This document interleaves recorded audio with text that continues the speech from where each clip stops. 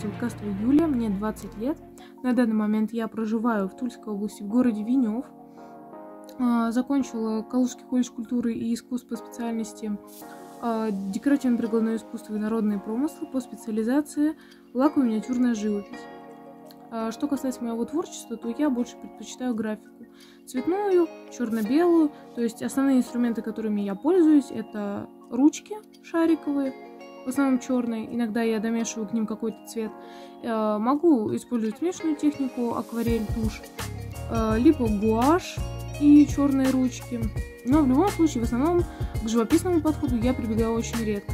Хотя моя учеба как раз таки непосредственно заключалась в классической живописи, в классическом подходе. А, но, так сказать, это не мое.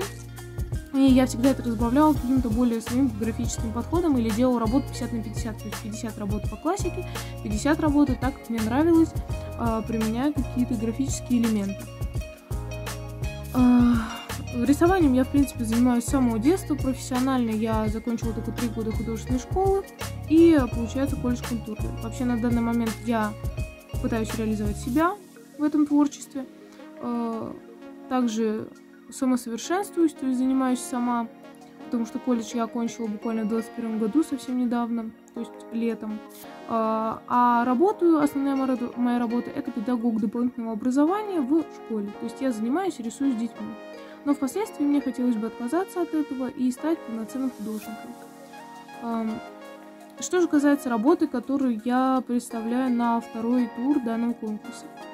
А, вторая работа называется «Цирк уродов». То есть э, она иллюстрирует завуалированно под цирк семь смертных грехов с которым сталкивается человек при жизни. А, поэтому и называется, имеется в виду, что цирк уродов, потому что грехи уродуют человека и внутренние, и внешние. А в центре композиции, композиция идет по кругу, в центре композиции находится черная рама, в которой разбитое зеркало и двор, ну, как бы дымка, такая вот черная силуэт человека. То есть нет точной прорисовки лица, волос и так далее. А, это главный герой. Главным героем здесь с вами в нашем цирке уродов являемся мы сами.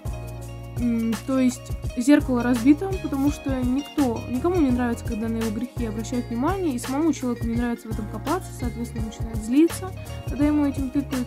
И в данном случае это переходит в какие-то последствия. В данном случае зеркало разбито. А, а, получается, мы являемся с вами и главным героем, который управляет этим цирком уродов, да, самым главным, а также и его зрителям, которые за этим же и наблюдают. То, есть, допустим, если бы это была полноценная афиша, то там можно было бы купить только один билет, где ты являешься зрителем. А место и время а, не ограничены, потому что, так сказать, скатиться можно в любой момент и в любом месте. Вокруг расположены непосредственно сами грехи, а, которые э, сделаны под цирковых персонажей. А, прямо под главным персонажем, то есть нами, сидит уныние с маской в достаточно скрытной позе. Далее идет гнев. Для меня это самый сильный грех, как, так сказать, как внутренний, так и физический, э, так и внешний. То есть для человека очень сильно захватывает это чувство, он очень редко может остановиться, когда грех приходит к грани. И потом оно может перейти в то, что выльется на окружающий мир. То есть э, физическое насилие, моральное насилие над другими людьми, животными и так, ну, и так далее. Э, поэтому и гнев изображен как сила. А, далее идет тщеславие. Тщеславный человек – это человек, который работает на взаимовыгоде, то есть я сделаю тебе, а ты обязан сделать мне. На других условиях я работать не буду. А, и человек, который очень любит привлекать внимание к себе, даже насильно его забирать у других. А, чтобы постоянно вот во внимании главный был только он. Поэтому я изобразила девушку на ходулях, потому что достаточно колоритный персонаж, и невозможно не заметить человека на ходулях с таким ростом, по сравнению с другими э, людьми, которые обычного роста. А, на, если присмотреться на брюках и волосах, у него павлиные перья, так как павлин, э, по моему мнению, привлекает очень много внимания своей расцветкой. Он очень гордо ходит, раскрывает хвост, яркий, и подсознательно и, точнее, э, э, в общем, ты обращаешь внимание на него сразу. Особенно на фоне каких-то блеклых, других, более естественных цветов по цвету животных. А дальше идет гимнастка, у которой вся одежда увешана золотом. Это среболюбие, то есть э, чрезмерная любовь к деньгам. Далее идет жонглер, это прелюбодеяние, то есть измена. Э, он жонглирует мечами, на которых изображены женские лица, различные лица. То есть это человек, который не ценит своего партнера, э, меняет партнеров также быстро, перекидывается ими а, как жонглер перекидывает мячи в своих руках. А, далее идет грех чревоугодия, то есть чрезмерная любовь, избыточная любовь к еде, которая ведет к избыточному весу, ухудшению здоровья. А, поэтому он изображен как клоун, такой толстый клоун, в большой одежде. И четко нарисован рот, зубы, он даже грызет ленту, чтобы как бы усилить восприятие данного персонажа. А на шляпке у него, допустим, а, табличка такая красная написано слово еда. Э, и ниже последний идет гордыня. А, для меня это дрессировщица. Для меня, когда говорят слово дрессировщик цирковой, наверное, скорее всего, это воспоминание с детства, такая ассоциация, как бы. А, сразу всплывает, когда дресси... дрессировщица выступала со львами, гордыми животными, которые сидели на таком постаменте, и она как бы управляла ими. Поэтому гордыню я решила проиллюстрировать и изобразить как э, дрессировщицу, которая сидит на данном постаменте и смотрит на зрителя гордым взглядом. А, также гамма, а, что же хочется сказать, используется черно-красная. Черная, потому что работа графическая, используется черная шариковая ручка. А красный для усиления эффекта, для привлечения внимания как раз-таки к деталям, которые помогают нам понять, а, какой персонаж за какой грех отвечает. То есть уныние маска веселая, да, которую он скрывает свою печаль. У гнева это штанга, у тщеславия перо павлинье, у среболюбия монеты на костюме, у чревоугодия э, красный рот и зубы, и на шляпке слово «ид», у гордыни постамент и ее палка, которая помогает ей в работе, и у, э, получается, измены а, то есть прелюбодеяние, это непосредственно шары, которыми он жонглирует. То есть красный очень агрессивный цвет, а, и мы а, непроизвольно обращаем на него внимание.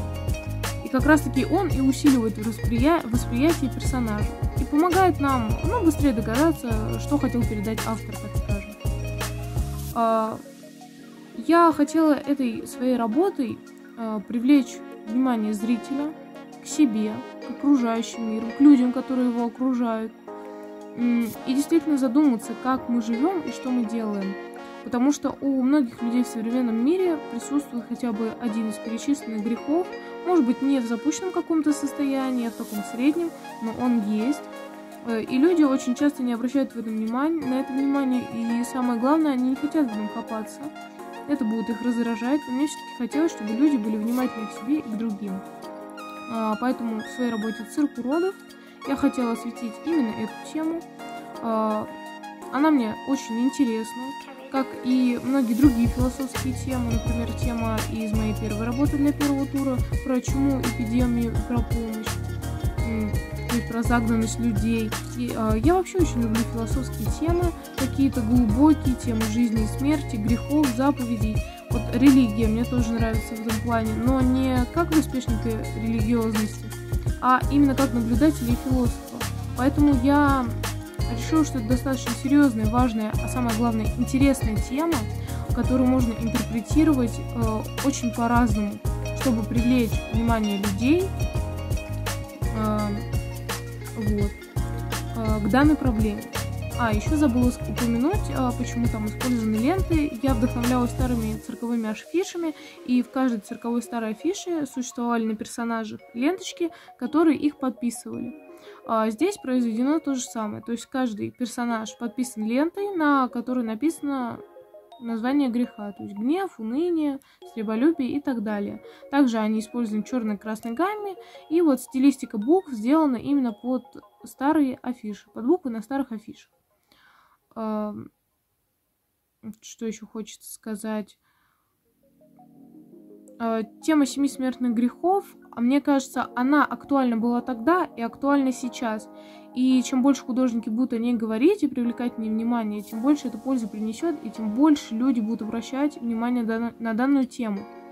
Но в какой-то сухой и старой интерпретации это смотреть уже не интересно, поэтому мне хотелось э, сделать эту работу такой, чтобы она хотя бы на секунду, но могла задержать вас взгляд. И о чем-то задуматься, задуматься о себе, о других, и о том, как мы вообще с вами живем и что мы делаем. Спасибо за внимание.